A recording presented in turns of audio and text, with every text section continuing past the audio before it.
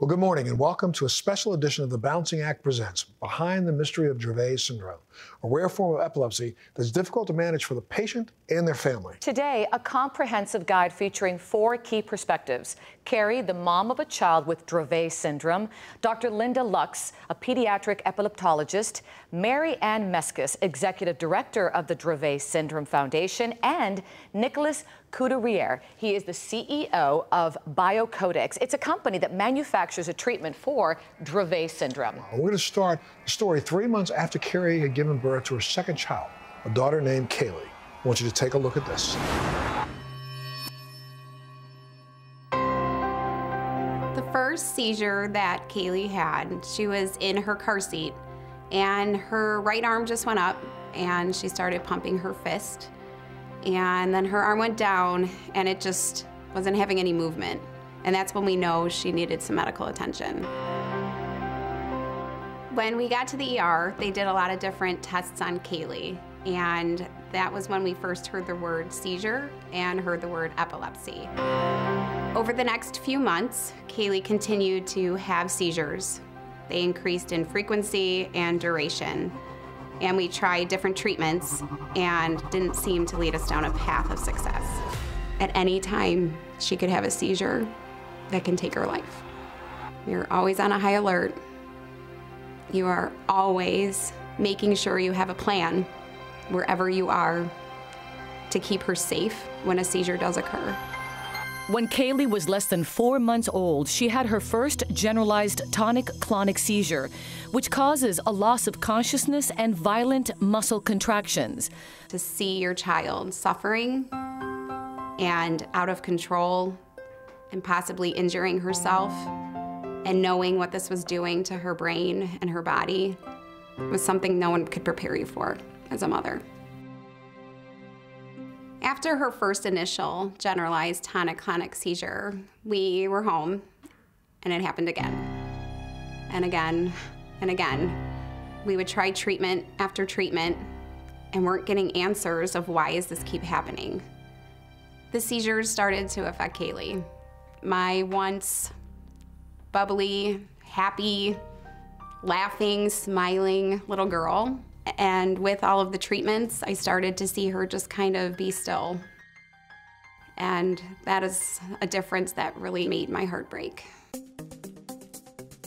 The Balancing Act met with Dr. Linda Laux, pediatric epileptologist at Ann and Robert H. Lurie Children's Hospital of Chicago. Dravet syndrome is a rare form of epilepsy. The seizure onset is at 1 month to 18 months of age, most kids will have their seizures begin in the first year of life. The first seizure is typically a convulsive seizure, either affecting the full body, which is then called a generalized tonic-clonic seizure, or half of the body, which is called a hemiconvulsion. These first seizures can often be prolonged and may be triggered by a fever or illness. Subsequently, kids can continue to have the generalized tonic-clonic seizures and hemiconvulsions, but they will develop a multitude of other generalized and focal seizure types. Each child will have a different experience in terms of their seizures and seizure evolution, although the intractable treatment-resistant seizures and the developmental impairment is the core of Dravet syndrome. Other things that you will see for these children that will affect their quality of life include subsequent developmental impairment, as well as intellectual disability, walking or gait concerns, coordination issues, behavior problems that can include impulsivity, wandering, um, autistic-like features, sensory integration disorders. They can have disturbed sleep, growth and nutrition issues. There are many things that Dravet syndrome consists of beyond just the seizures. Children with Dravet syndrome have a 15 to 20% mortality rate and a very high incidence of SUDEP, which is sudden unexpected death in epilepsy, in which the child will die in their sleep. When I realized that we were getting treatment after treatment and Kaylee's seizures were increasing in frequency and duration, I just realized there had to be something else. And knowing that getting a genetic test could be something that could give us more answers was something then that needed to take place. At nine months old, we found out that Kaylee had the genetic mutation for the SCN1A gene. We then learned that all of the treatments we had been supporting her with to treat epilepsy was actually increasing her frequency and duration of seizures. And I was shocked. I was numb, I was overwhelmed, and my vision of her future changed. The path that I thought our family was on changed.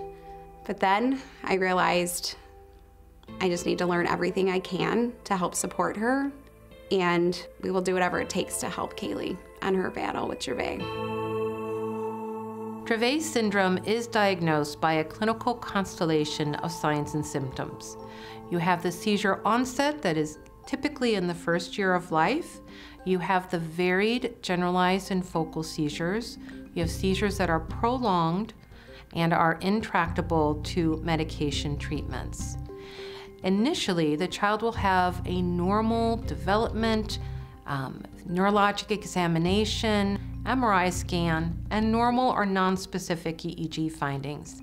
Approximately 80% of the patients with Dravet syndrome will have an SCN1A mutation that codes for the sodium ion channel that's important for the transmission of signals between the nerve cells. Now, it should be noted that you can have the diagnosis of Dravet syndrome and not have an identifiable SCN1A mutation on laboratory testing. You can also have an SCN1A test that shows a gene mutation, but not have the diagnosis of Dravet syndrome. So while it's highly associated, there is not a one-to-one correlation. Genetic testing is available for free for children up to eight years of age through the Invitae.com Behind the Seizure program. It's very important for the early diagnosis of Dravet syndrome. This will determine the best seizure medications for that child and seizure medications to avoid. When we come back, the CEO of BioCodex and the executive director of the Dravet Syndrome Foundation, they're going to join us in the studio. Absolutely. So don't go away. We'll be back right after this.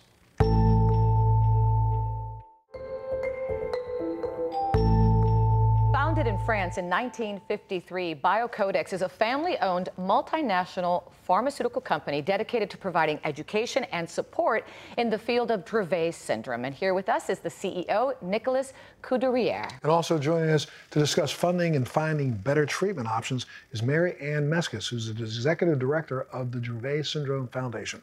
Welcome, both of you. Thank you. Thanks so Thank much for being, here. Good morning. Absolutely. Nicolas, let's start with you. Let's talk a little bit about BioCodex's commitment to rare disease in the community and why it's so important. Thank you, and thank you for having us today. So, BioCodex has developed a uh, global expertise in the field of uh, pediatric neurological in rare diseases. And uh, the aim is to provide services and treatments for unmet medical needs. So, we want to make sure that the communities around the world uh, can have access to treatments and, and solutions. This is what we, we fight for, and this is one of our missions.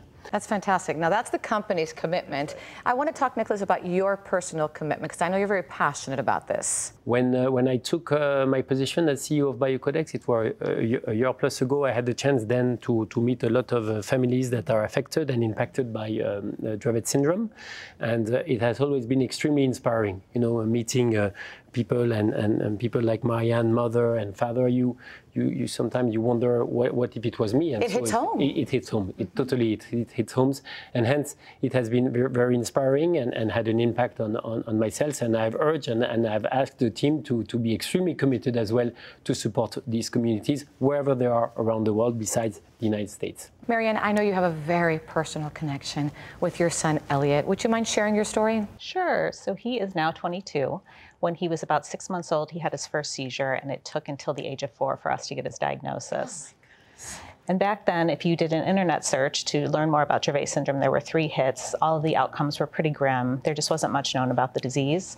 And so, you know, at that point, I just felt like I needed to do something that would help my son as well as the other children that would come after him. You were one of the founding members of the Dravet Syndrome Foundation 13 years ago. Now, what's the foundation done to help increase everything from funding, research, and drug, you know, approvals and participation in clinical trials? Yeah, well, when we started, our founders were all parents who came together and said, "What can we possibly do?" Um, this disease often leaves you feeling that you're not in control or have any power. So this was a way for us to do something constructive, and we kind of looked at the landscape and we recognized there wasn't a lot of research happening. That was going to have to be patient community driven. So we started by offering uh, small research grants to researchers so they could collect data to go on and get larger incremental funding, and then also to draw more researchers into the field.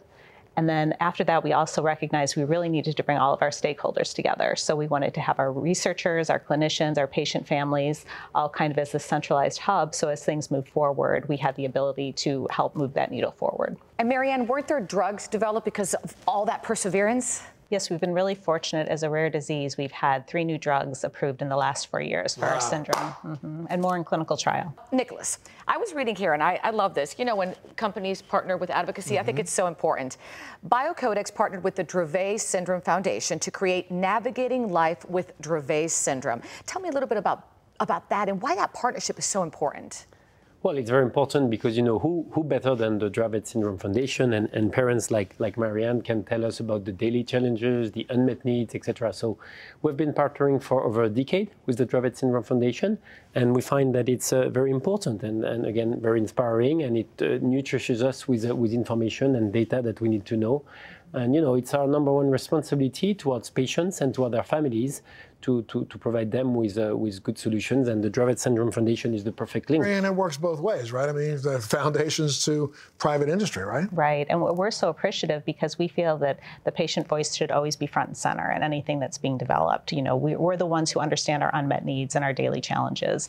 And so when you have a willing partner that can help out, it really makes a difference. And our families feel that they have others fighting with them in this. Well, we have much more to talk about. So when we come back, and this is a quick break, we're going to talk about how Mary Anne helped Carrie cope with her daughter's diagnosis. People helping people. Love that. And much more from Biocodex when we come back. So make sure you stay with us. We'll be back right after this.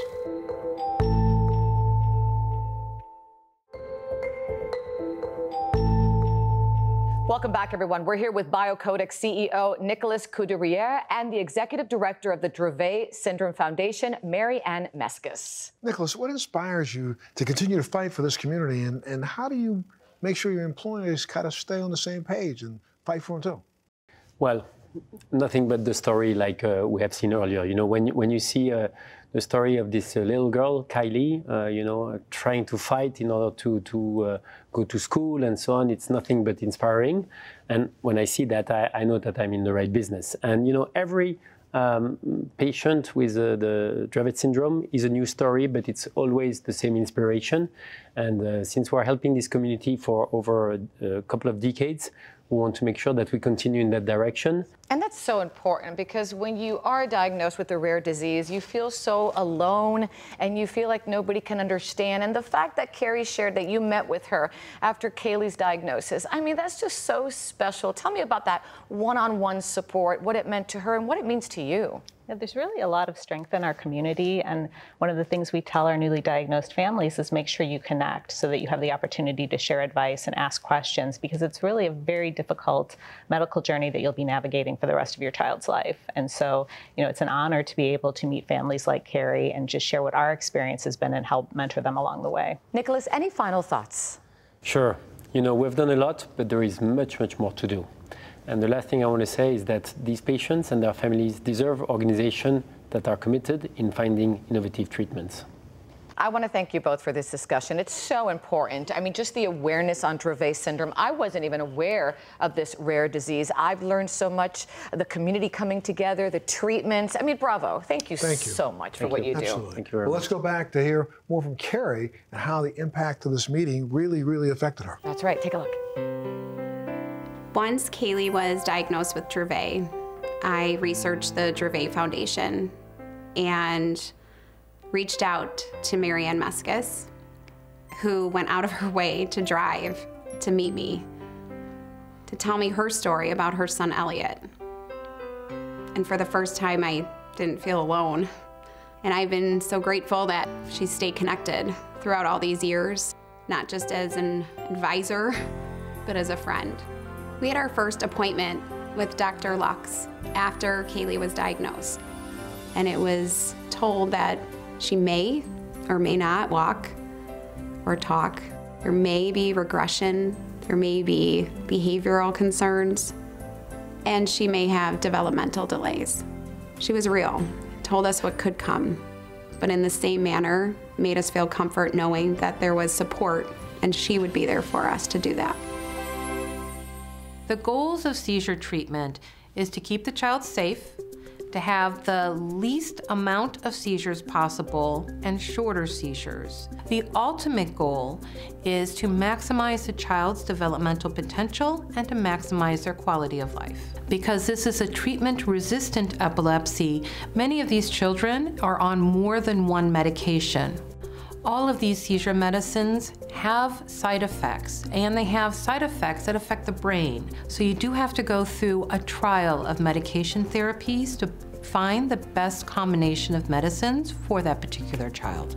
Despite new, very good medication and treatment options, children are still having seizures. Therefore, we desperately need new medications and treatments for these children. With all of Kaylee's treatments to help support her seizure control, we started seeing behaviors such as impulse control occurring. We saw attention being an issue. We saw her mood changes. And we also saw her in a haze. But we also knew she needed these treatments to help limit the seizures.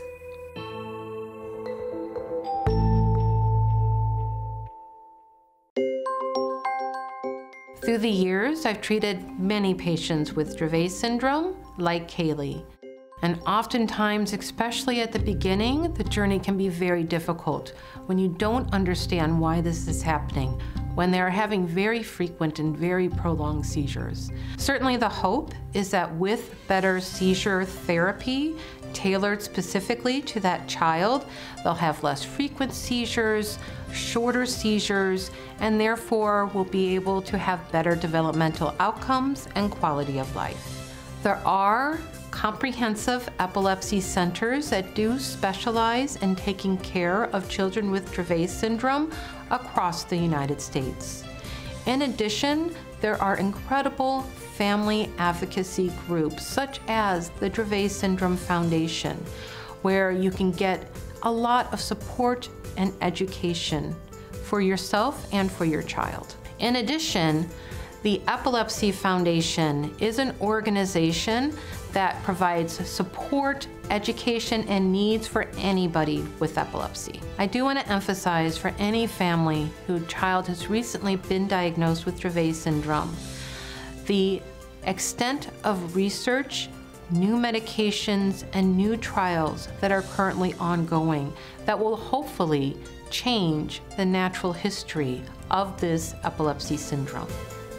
The As a family, we talk about Dravet with Kaylee. She knows she has it. She knows that she has seizures. She knows what a seizure is. She knows how much she is supported. Kaylee's a rock star. Kaylee also is my hero as well because every day she does what she can, even though I know it's not easy for her. My hope for Kaylee is just that she's healthy and happy, and most of all, knows how much she's loved and supported. Thank you so much for joining us on this special edition of the Balancing Act Behind the Mystery of Dravet Syndrome. And for more information on Dravet syndrome, you can visit biocodex.us. And for resources and support, you can visit DravetSyndromeFoundation.org. You can also visit our website, thebalancingAct.com. We'll see you next time.